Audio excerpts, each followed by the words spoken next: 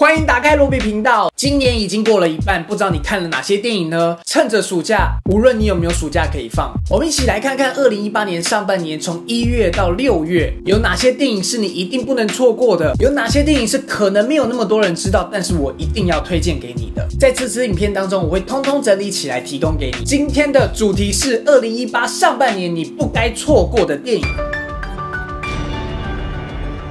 一幸福路上，第一部是一部本土自制的动画电影，讲述一位刚从美国回到家乡的女生女儿，回忆起自己在这片土地上面成长的种种过往，进而做出决定自己未来的选择，很贴近我们的故事，也算是导演的自传作品。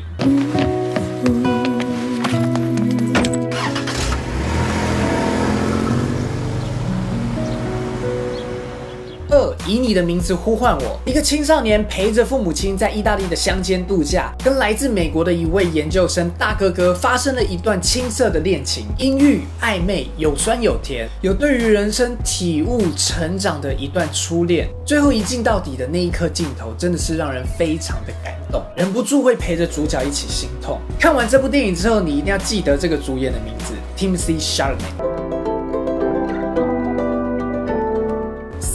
娘叫谭雅，美国知名的花式溜冰选手 Tonya Harding 的真实故事改编，讲述一个住在美国的女孩子在没有人生优势的环境当中，努力挣扎却依旧没有实现梦想，依旧被打败的人生。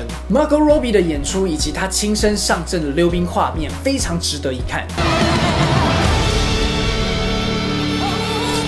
四意外由英国导演 Martin McDonagh 执导编剧，我个人超级敬佩的一部电影，还有剧本，借由一位妈妈要为过世的女儿讨回公道这件事情，发展出一段曲折离奇的故事，也让每一个人，包括剧中的角色，还有我们，对人生、对正义、对是非对错，都会有重新的思考。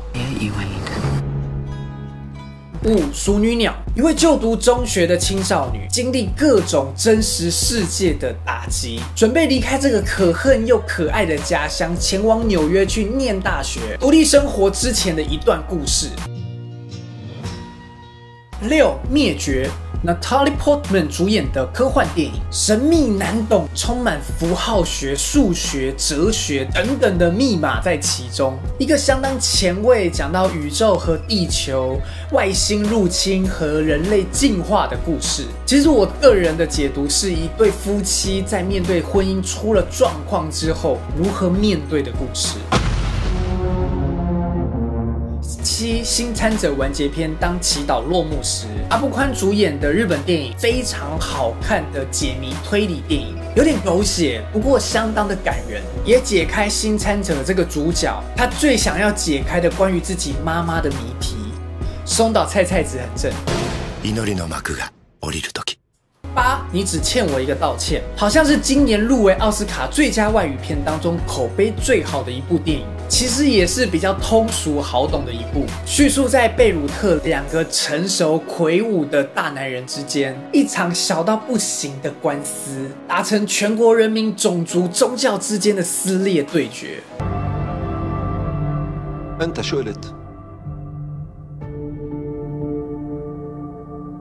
九七月与安生，两个女孩成长的故事，闺蜜吵架和好必看的一部电影。马思纯和周冬雨主演，也是金马奖的双影后得主。虽然讲故事的手法有点复杂，有点需要推理，但剧情不算难懂，又说的很好的一部电影。我恨过你，但我也只有你。十一级玩家 Steven Spielberg 终于又有一部精彩的商业娱乐大片，讲述未来所有的人类都沉溺在一个叫做绿洲的虚拟线上游戏当中。一个年轻人要跟他的伙伴一起经历各式各样的闯关游戏，并且找到其中的彩蛋，顺便拯救世界的故事。我蛮喜欢这部电影的，可是我真的很想要在星期二跟星期四打电动，好吗？十一境界，一家人躲避可怕的寻声怪兽，在末日乡间的求生故事。也有人会说，一根钉子毁了一部电影的故事，紧张刺激好看。据说续集也正在筹划当中。复仇者联盟三：无限之战》，漫威电影十年磨一剑，年度唯一话题巨作，应该不需要再多做介绍了吧？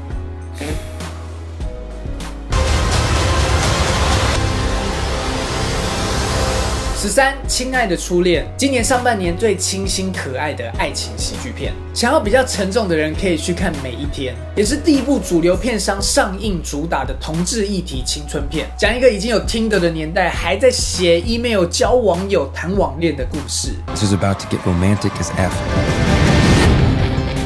十四《厌世妈咪日记》，我个人特别推荐的爱片，沙莉赛隆主演，在讲一位妈妈是怎么炼成的，或者说到底要把妈妈逼到什么程度的鬼电影。我很喜欢这部幽默又有现实生活中沉重议题的故事调性，可是好像没有很多人喜欢这部电影。十五《全知岛》超级好看的粘土动画片，叙述一个在虚拟的未来日本，一群狗和一个小男孩挑战大人世界的故事。本片拍摄期间，没有任何一只狗受到伤害。哇哦！the north. 十六夙愿评价两集的恐怖片，我很喜欢这部片各种用心制造的气氛，还有紧张的氛围，讲述的是更未知的恐惧。也有人说是二零一八年上半年最好笑的一部电影啊。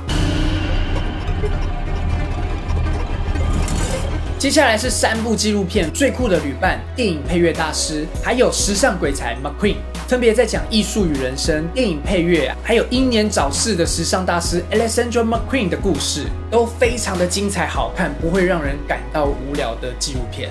Film music has changed fairly radically. There's sort of a new renaissance going on. It's so visceral. It's incredibly powerful.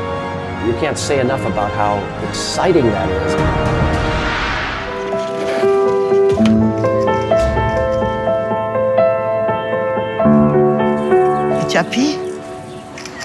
He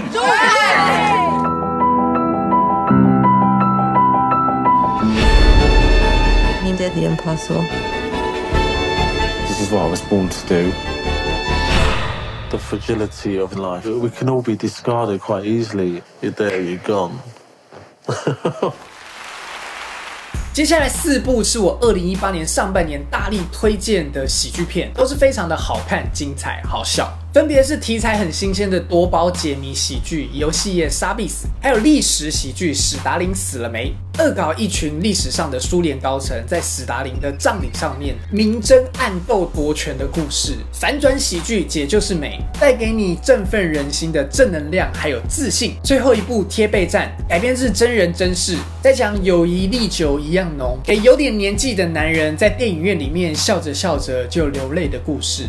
最后两部是我没有时间做单独影评拍影片的电影。第一部是《欢迎光临奇幻城堡》（Florida Project）。我想起来了，我最近一次在电影院里面大哭，走出电影院还在继续哭的，就是这一部。有点松散的叙事，但是就是交织成一个令人心碎的故事，尤其是结局真的是美到不行。维人达否也以这部电影得到蛮多最佳男配角的奖项。他饰演一位汽车旅馆里面的经理，管理着这些中下阶层的住户们，许多事情他尽量睁一只眼闭一只眼的在照顾这些人，但看着他眼前的这些人往着不好的结局走过去时，也跟我们所有的人一样，充满了无力感，什么也不能做。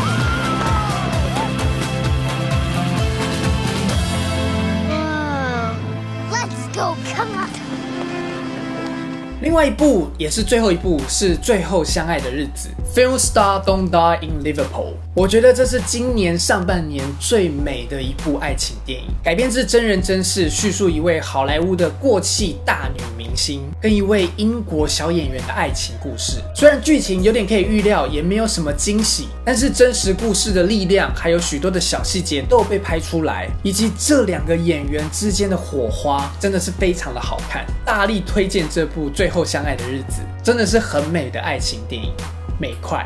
Then either. 以上就是我精选了二十五部二零一八年上半年在台湾上映的电影。你错过了哪几部呢？你收集了哪几部呢？或者你觉得有什么必看的电影是我 miss 掉了呢？欢迎在下面留言告诉我。希望你喜欢今天这支影片的内容。这是罗比频道，祝你今天可以看到一部精彩的电影。我们下支影片见了，拜拜。